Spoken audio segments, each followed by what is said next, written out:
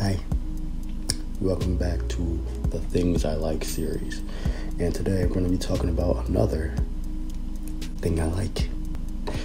And today we're going to be talking about doing nothing. Isn't it amazing just not to do anything? Like, it's incredible. Like, I would totally not do anything right now, but I want to make this video, which is just like the opposite of doing nothing, but like, it's almost like doing nothing. I find it fun. So, yeah, we're chilling. We're having a good time. Let's do it.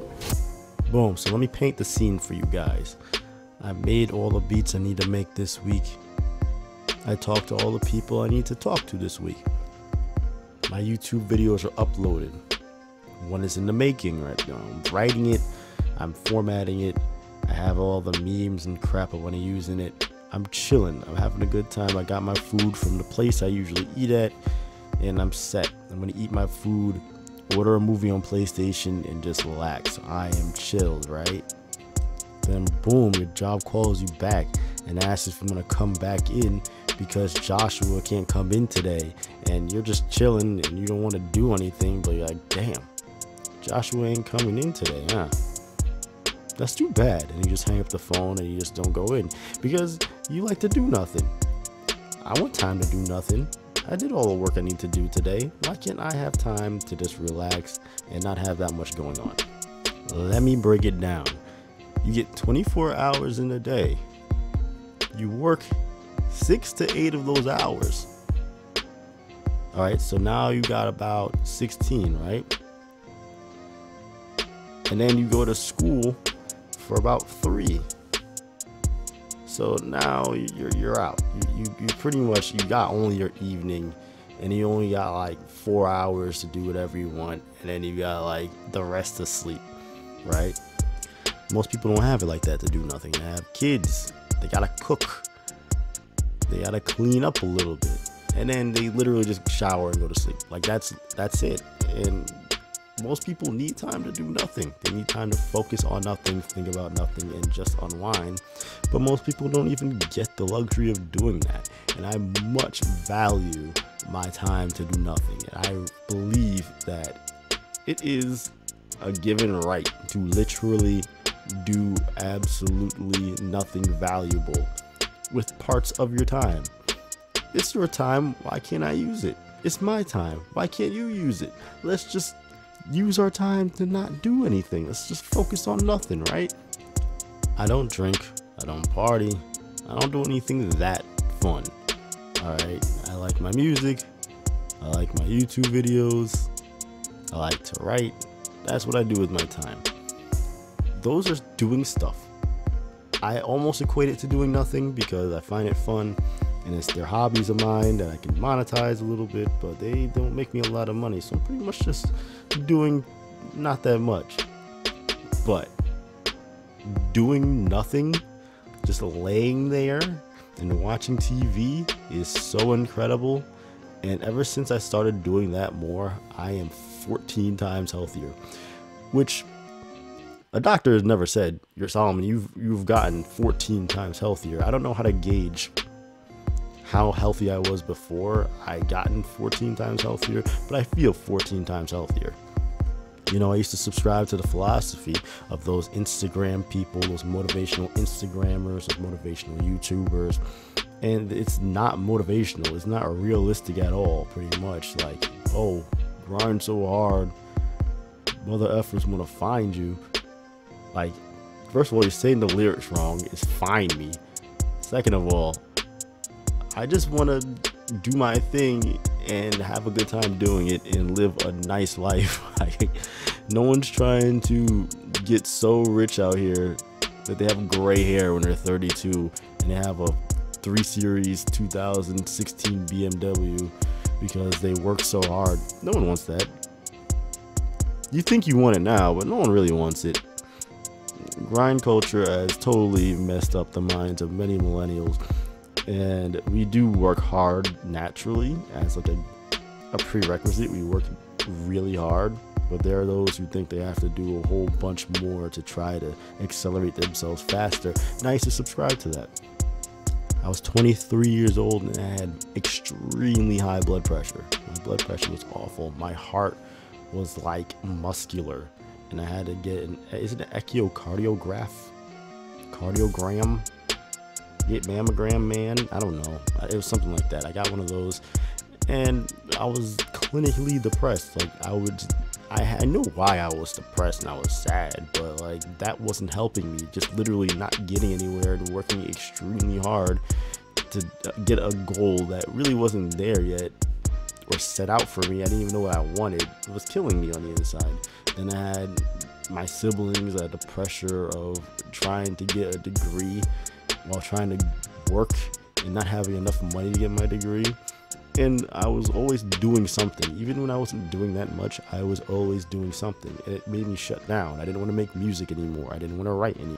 I needed a solution to my problem. And the solution was to take a chill pill, Bill. That's my great grandfather's name, actually. Pop up, where you at?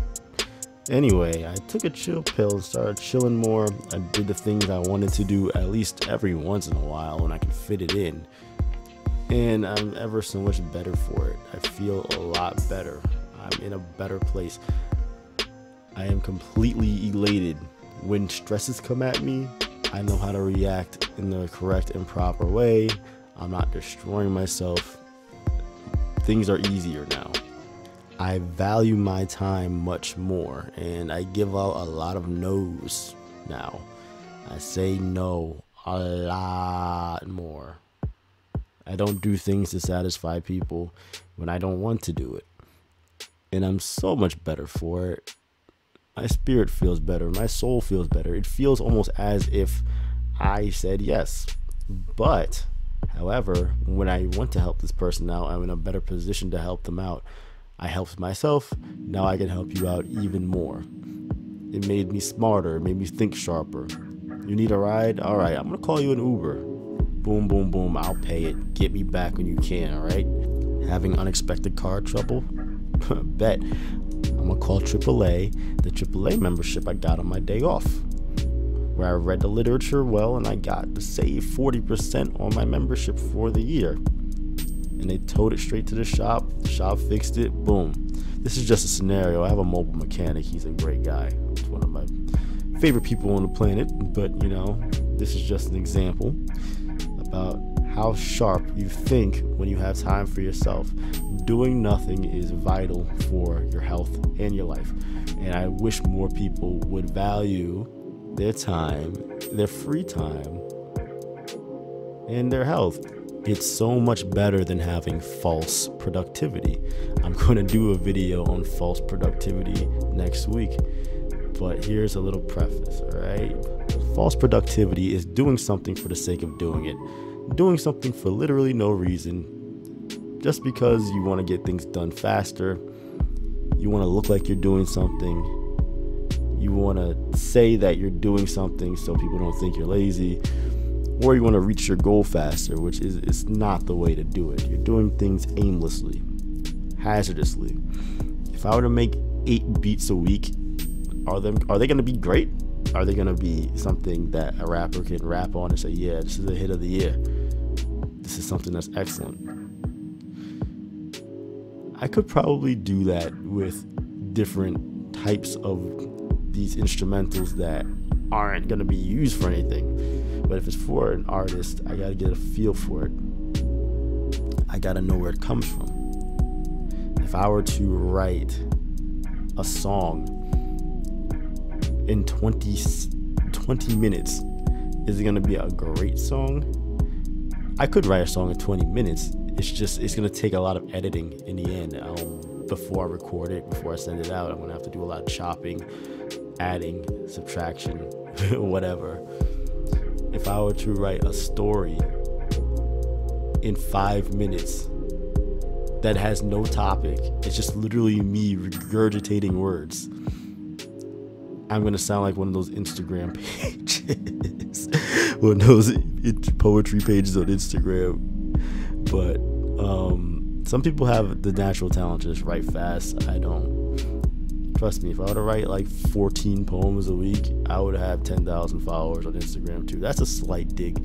It's kind of mean. But however, that just goes to show you that doing things for no reason, doing things you don't want to when you don't have to, gives a crappy result. And that's the point. We need to have good results, not results that's going to lead to destruction, lead to nothing, lead to a bad product. And that's the point. So, yeah, let's do a little bit of nothing. I want you to do nothing this weekend. All right? Let's find a little bit of peace in our lives. And I give you my peace. Peace.